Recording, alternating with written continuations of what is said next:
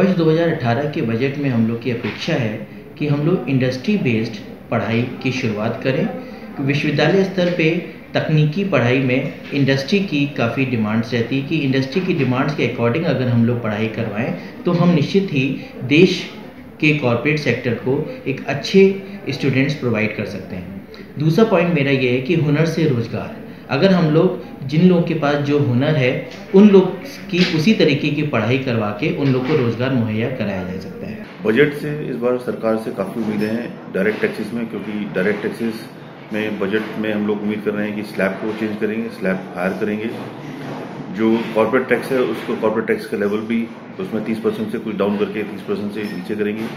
और उसके साथ साथ एमएसएमई सेक्टर के लिए, क्योंकि जीएसटी लागू होने के बाद में देश में कर प्रणाली एक ही तरह की हो गई है तो उसकी वजह से जो एमएसएमई में और लास्ट इंडस्ट्रीज़ में जो डिफरेंस था वो खत्म हो गया है। तो एमएसएमई के लिए गवर्नमेंट क्या नई पॉलिसी लेके आ रही है उस पॉलिसी का हम लोग को बहुत इंतज़ार है। पब्लिक की जो है आम पब्लिक को जो है सुविधा के अनुसार होना चाहिए जिससे कि आम जो जनता है वो त्रस्त ना हो महँगाई से किसी प्रकार किन किन चीज़ों में छूट मिलनी चाहिए? आम चीज़ें यही है आदमी की दाल सब्ज़ी।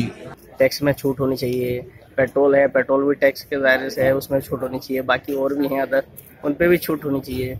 जैसे टेक्निकल उत्पादन है उनमें भी छूट होनी चाहिए। सभी पे जो है जनता को फ़ायदा मिलना चाहिए। रोज़ाना की जो इस्तेमाल की चीज़ें हैं जिसे है ना गरीब अमीर सब इस्तेमाल करते हैं उस पर राहत होनी चाहिए। छोटे छोटे उद्योग धंधों को लाभ होने की संभावना है। कारपोरेट वर्ल्ड को निगमी कर के ढांचे में सुधार से लाभ होने की संभावना है।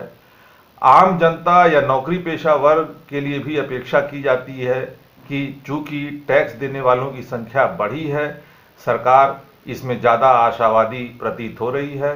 जो हमारा इकोनॉमिक सर्वे आया, उसमें भी ऐसे संकेत हैं।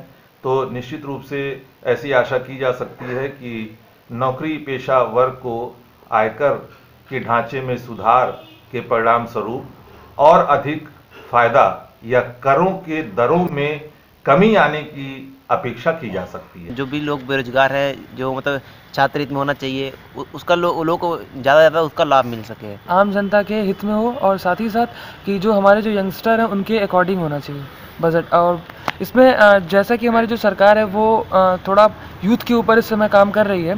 हम लोगों को जो उम्मीद है वो एक general common basic exemption limit ढाई लाख से बढ़ के लगभग तीन लाख होनी चाहिए। एटीसी जो एक बिल्कुल कॉमन सेक्शन है, वो डेढ़ लाख है, जो कि बहुत कम है। आजकल दो बच्चों की फ़ीस ही डेढ़ लाख हो जाती है। उसको एनहेंसमेंट करने की बहुत ज़्यादा ज़रूरत है।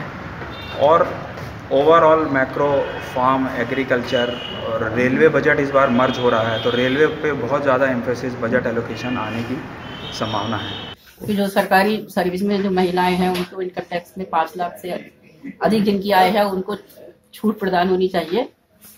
इसके अतिरिक्त जो घरेलू क्या नाम है जो घरेलू इस्तेमाल होने वाली चीज़ें हैं जैसे गैस है हम्म। इस पर काफ़ी क्या नाम जो है जो है ये दिन पर दिन प्रतिदिन इस पे महँगी होती चली आई तथा जो गवर्नमेंट सब्सिडी कम करती चली जा रही है इस और भी उनको ध्यान देना चाहिए